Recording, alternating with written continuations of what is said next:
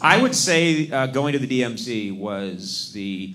There's no way to anticipate that, but when you drive, they, it's a very serious situation, and you they, you get on. Uh, it's stunning how close it is to Seoul. It's very sobering because you realize that this is not. I thought we were going to have to drive for hours and hours and hours, and you realize no, no, it's it's like a 40 minute drive, which is very sobering. And you get there, and I've never seen anything like this in my life, and I hope I don't. You know, I I, I hope that we can figure this out because it is eerie, it's wrong, it's just very crazy that there's so much tension. It's an arbitrary line that shouldn't be there.